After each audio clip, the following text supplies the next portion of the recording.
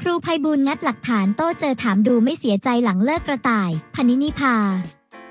เรียกได้ว่าเป็นข่าวที่ช็อกวงการเป็นอย่างมาก นักร้องลูกทุ่งสาวกระต่ายพนินิพา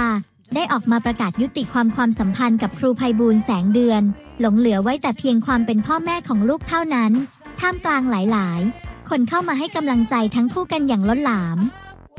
ซึ่งต่อมาครูภัยบูลมักจะโพสต์ภาพตัวเองไปเข้ายิมและออกกำลังกายบ่อยๆ จนมีชาวเน็ตเข้ามาคอมเมนต์ถามครูภัยบูลว่า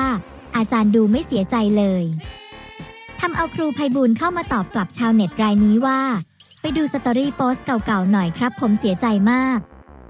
แต่ผมต้องเดินต่อ การจากลาทำไมจะไม่เสียใจล่ะครับ ผมพยายามทุกวิธีทางแล้ว นอกจากนี้ครูภัยบูลก็งัดหลักฐานเป็นสอตรีเก่าที่เคยไว้เมื่อวันที่ 7 มกราคม 2567 เป็นภาพดอกกุหลาบสีแดงช่อโตที่มีการเขียนข้อความเอาไว้